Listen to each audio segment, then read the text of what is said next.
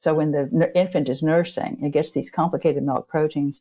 These bacteria have specialized enzymes that we don't have. There's so much that the gut microbes have in the way of extra enzymes that are not in the human host. You know, they make all these B vitamins as well, and these come out of that shikimate pathway. And the products of the shikimate pathway itself are the aromatic amino acids, which are essential for the proteins. Those are three of those coding amino acids.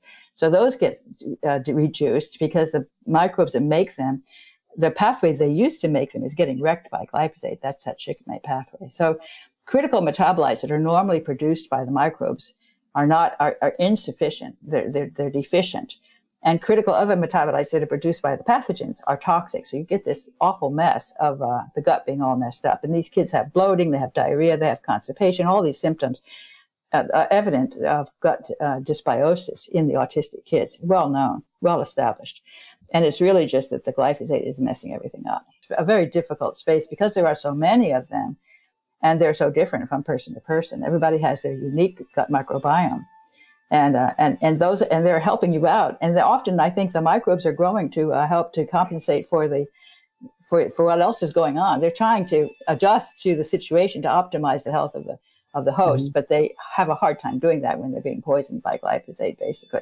And when they make these processed foods, they're basically, basically thinking of fats, proteins, and um, carbs, right? Fats, proteins, and carbs. And what they're leaving out are all these complicated molecules that are produced by plants. You know, you have, uh, if you take herbs and spices, and, and even just, you know, regular plants, they produce these very interesting polyphenolic compounds, things that are called polyphenols or flavonoids or terpenoids. Mm-hmm. You know, these are very um, beneficial antioxidant uh, molecules that are quite complicated. They're beautiful looking with lots of circles and stuff. They're amazingly complex. These molecules that are, and there's an enormous number of them.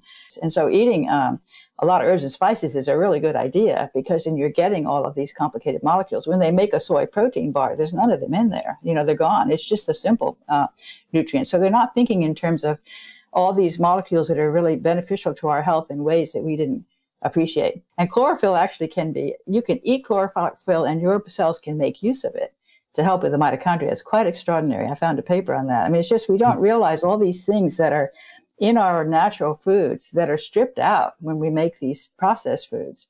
And so when, when we eat only processed foods, those things become deficient.